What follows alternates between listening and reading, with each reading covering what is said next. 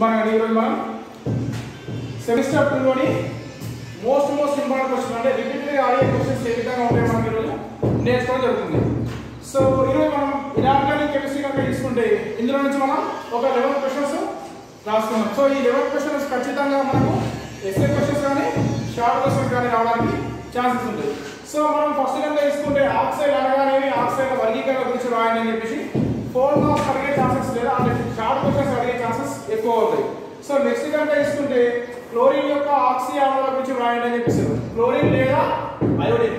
So ఏదైనా అడిగే chances ఉంటుంది సో క్లోరిన్ యొక్క ఆక్సీ ఆమ్లాలు కానీ లేదా అయోడిన్ యొక్క ఆక్సీ ఆమ్లాల గురించి రాయండి అని చెప్పేసి నెక్స్ట్ క్వశ్చన్ కావచ్చు. నెక్స్ట్ చూడండి మనకి చాలా సార్లు రిపీటెడ్ క్వశ్చన్ అంతర్ హాలోజన్ కాంపౌండ్స్ ఐఎస్సీల గురించి యొక్క సాధారణ ధర్మాలను రాయండి అని చెప్పేసి అంటే అంతర్ హాలోజన్ అనగానేది వాటి యొక్క ధర్మాలను చెప్పేసి మనం రాయడం జరగాలి నెక్స్ట్ ఏంటంటే చూడమ్మా మిథ్య హాలోజన్ అనగానేమి మిథ్య హాలోజన్లకు హాలోజన్లతో గల పోలికలు ఏంటని చెప్పేసి అడగడానికి ఛాన్స్ ఉంటుంది సో ఈ రెండు క్వశ్చన్స్ రిపీటెడ్ క్వశ్చన్స్ నెక్స్ట్ అంటే ఏంటంటే మిథ్య సూడో మీ భాషలో చెప్పాలంటే ఎపిసోడ్ హాలోజన్స్ చెప్పారు మామూలుగా సిపి సైడ్ ఉంటుంది రైట్ సూడో సో విద్య హాలోజన్ అనగానేమి హాలోజన్తో గల పోలికను వివరించండి. సో సుడో అనగానేమి వాడి యొక్క అంటే హాలోజన్కు సుడో మధ్య గల పోలికలు ఏంటని చెప్పి చెబుతారు.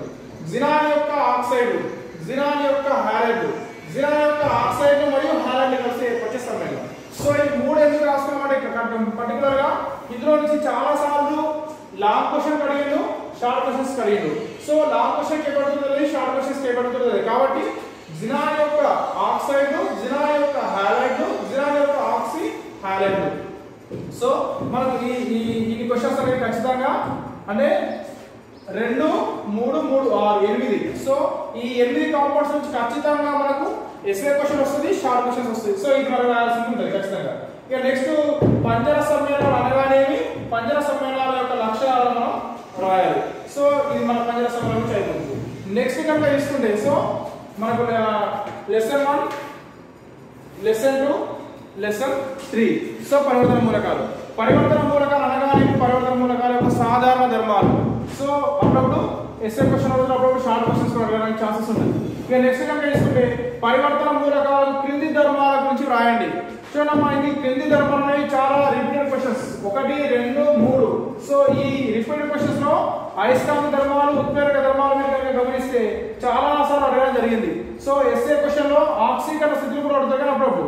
సో ఆక్సి అయస్కాంత ధర్మాలు ఉత్ప్రేరక ధర్మాలు వర్ణ ధర్మాలు. సో మూడు కూడా most most important so next ఆక్సీకరణ స్థితుల గురించి కూడా అప్పుడప్పుడు అడగడం జరుగుతుంది. ఇక మొత్తం కలిసి లాంగ్ క్వశ్చన్ కూడా అడిగే ఛాన్సెస్ ఉంటాయి కాబట్టి మనం క్వశ్చన్ ఈ విధంగా రాసుకోవడం జరిగింది. నెక్స్ట్ కనుక త్రికములు. సో త్రికముల గురించి ఎక్కువ సార్లు అడిగే క్వశ్చన్ ఏంటంటే టైటానియం జెర్కోనియం అప్నే త్రికం గురించి చాలా సార్లు అడగడం జరిగింది. సో రిపీటెడ్ క్వశ్చన్ ఒకటి తీసుకుంటే టైటానియం జెర్కోనియం అప్నియం లేదా ఇది ఇవ్వలేదంటే ఖచ్చితంగా క్రోమియం మాలిక్యం టంగ్స్టన్ సో ఈ త్రికములలో ఖచ్చితంగా ఈ రెండు త్రికాలే ఎక్కువ సార్లు అడగడం జరిగింది. అప్పుడప్పుడు చూడండి. ఆరం గురించి కూడా అడగడం జరుగుతుంది. నెక్స్ట్ ఏంటంటే ఇనార్గానిక్ కెమిస్ట్రీ గురించి ఈ లెవెన్ క్వశ్చన్ వస్తే సరిపోతుంది. సో మనకున్న టైం తక్కువ కాబట్టి పదకొండు క్వశ్చన్ రాసుకున్నాం. పదకొండు క్వశ్చన్ కనుక చదువుకుంటే మనం మ్యాక్సిమం క్వశ్చన్ అనేది కవర్ చేయొచ్చు.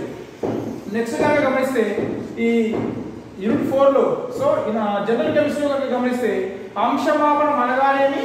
అంశమాపన దోషాల గురించి రాయని చెప్పిస్తారు సో అంశమాపన దోషాలు చాలా పెద్ద క్వశ్చన్ అందులోనే ఒకసారి రిపీట్ క్వశ్చన్ ఏంటంటే ఆమ్లక్షార అంశమాపణాల గురించి రాయండి అని చెప్పి కూడా అడగడం జరుగుతుంది. సో ఇది అంశమాపణం అనగానేమి అంశమాపణ దోషాల గురించి రాయండి అని చెప్పిస్తారు ఇక నెక్స్ట్ ఏంటంటే కర్బన అనువిన్యాసం చూడమ్మా కర్బన అనువిన్యాసాల గురించి రాయండి. సో ఇది చూడమ్మా ఇది కంపల్సరీ షార్ట్ క్వశ్చన్ సో ఇందులో ఏమంటే డిఎల్ విన్యాసం అడగచ్చు లేదా ఆర్ఎస్ విన్యాసం అడగచ్చు. రెండు కలిపి కూడా మనకు ఎస్ఎడబ్ల్యూ అడిగే క్వశ్చన్ ఇక నెక్స్ట్ నెక్స్ట్ క్వశ్చన్ వచ్చేసరికి ఫోర్టీన్ క్వశ్చన్ వచ్చేసరికి సూచిక అనగానేమి? అంతర్గత సూచిక అంటే ఏంటి బహిర్గత సూచికల గురించి రాయండి అని చెప్పేసి అడుగుతారు. ఇక నెక్స్ట్ సౌష్ఠవ అంశాలు. చూడమ్మా ఖచ్చితంగా సౌష్ఠవ తలం సౌష్ఠవ అక్షరం సౌష్ఠవ కేంద్రం. సో సౌష్ఠవ తలం గురించి రాయనిస్తారు సౌష్ఠవ కేంద్రం గురించి రాయనిస్తారు సౌష్ఠవ తలం గురించి రాయనిస్తారు సో స్పెషల్గా అడగచ్చు లేదా వేరు వేరుగా అడగచ్చు లేదా ఏమంటారు? సౌష్ఠవ అంశాల గురించి రాయని అని చెప్పేసి కూడా అడగడానికి ఛాన్స్ ఉంది.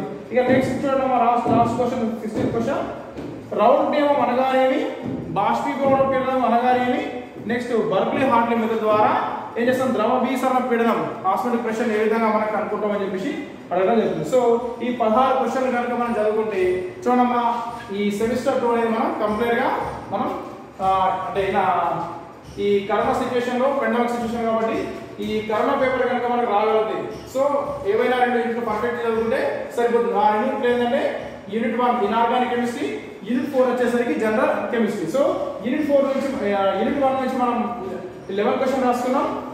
యూనిట్ ఫోర్ నుంచి మనం ఏం రాసుకున్నాం? One two three four five questions రాసుకున్నాం. సో ఇది మనం పెద్ద చదవడం పెద్ద హార్డ్ ఏం కాదు.